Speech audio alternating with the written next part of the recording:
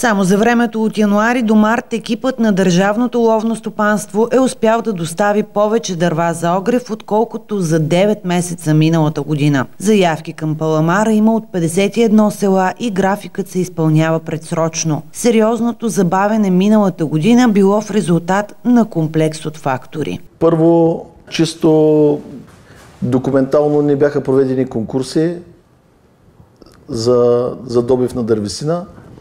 След което дойде лятото, фирмите останаха без работна ръка, работниците заминаха за чужбина и, и оттам се получи недостига на, на добив. Тоест селата и кметовете искаха дървесина, а пък ние нямахме на склад. Но за сега изпреварваме два-три пъти спрямо миналата година доставките.